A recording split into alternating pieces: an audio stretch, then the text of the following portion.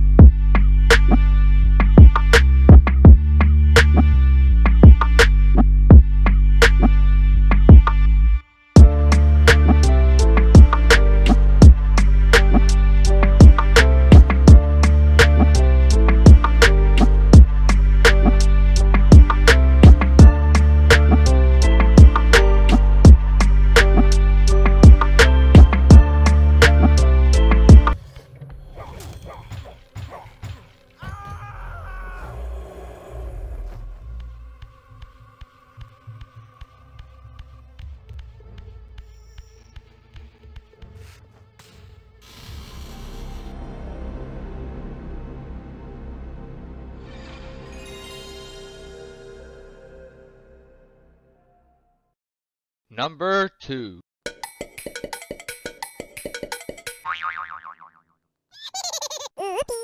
Tomba! It's a 1997 platform adventure game developed by Whoopee Camp and published by Sony Computer Entertainment for the PlayStation. It was released in Japan in 1997 and in other territories the following year. Sony had partial rights to Tomba and Goho Online Entertainment, a Japanese-based company.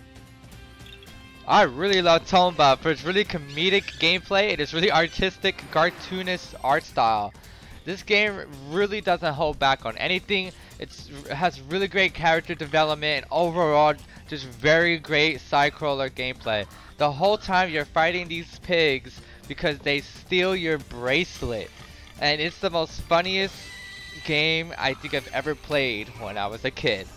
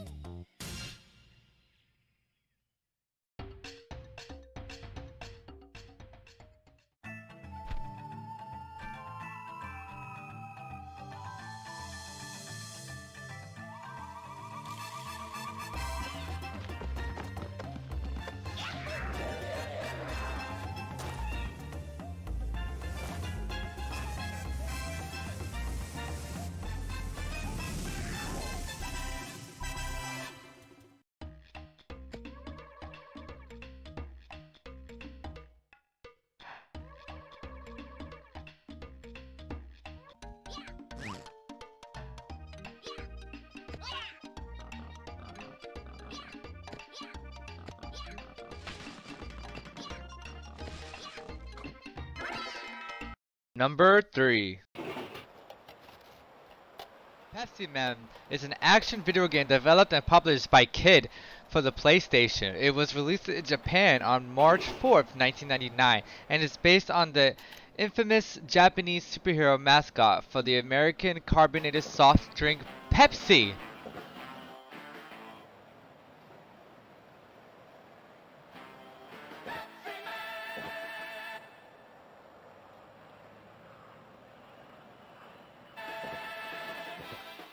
Drinks, he has his own theme song. Like, I never thought that Pepsi had their own mascot.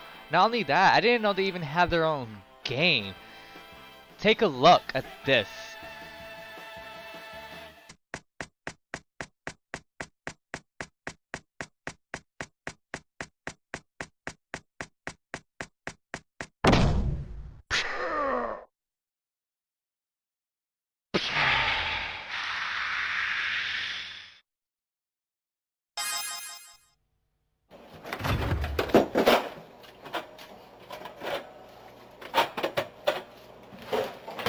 Let's start the game!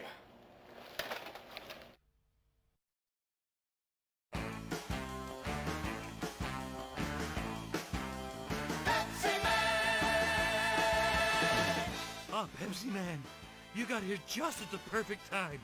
I got a call that a vending machine ahead ran out of Pepsi, and I was just on my way there when I got a flat tire. There are a bunch of people gathered in front of the vending machine. They want Pepsi. And the word is that they're just about to riot. I plan to head over there as soon as I can fix this flat. But it looks like it's gonna take some time. Can't you do something, Pepsi Man?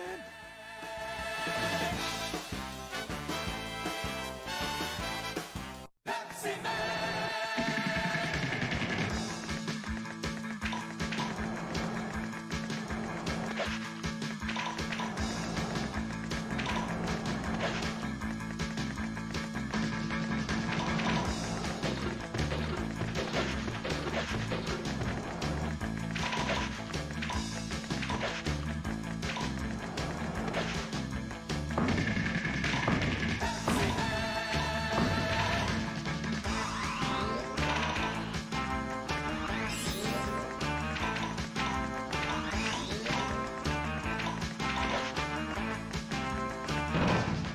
Number 4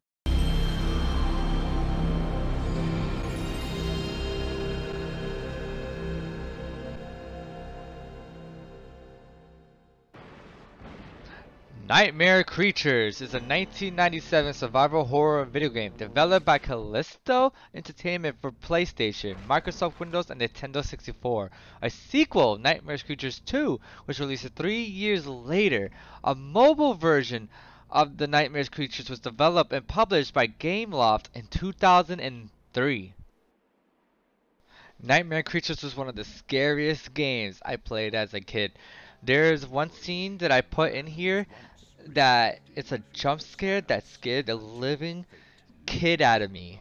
I kid you not, this game was one of the best games I've ever played.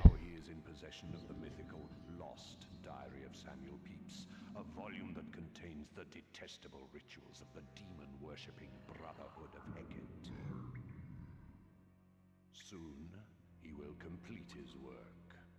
Tonight, as the sun sets on London one last time, he will unleash his demonic brood onto the streets.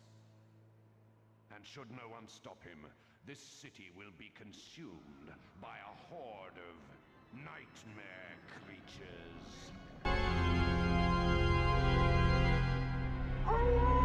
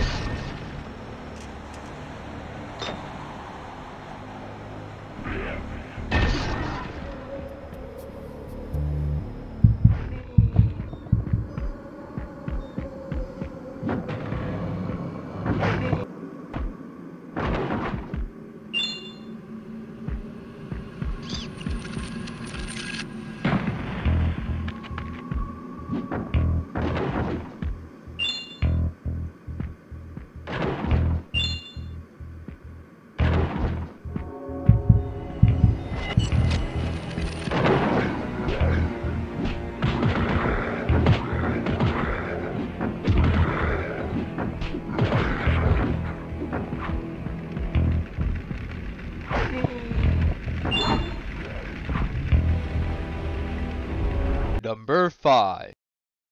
We got the fan favorite, The Neverhood. The Neverhood is a 1996 point-and-click adventure video game developed by The Neverhood Inc. and published by DreamWorks Interactive for Microsoft Windows.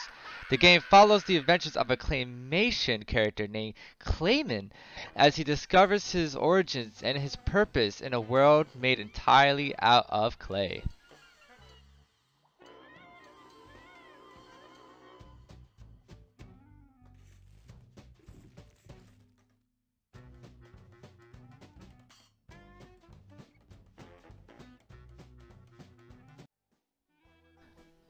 This game actually has a very interesting backstory. The character animations and everything was actually picture by picture clay. So every movement that he's doing is literally a picture and a guy moving that character inch by inch, piece by piece, finger by finger. This was the most innovative game I've ever seen in my life because I thought this was all made in engine which was not the case at all. It was photo by photo animation, which makes this game even more amazing and even more complicated and technical I've never thought about ever before.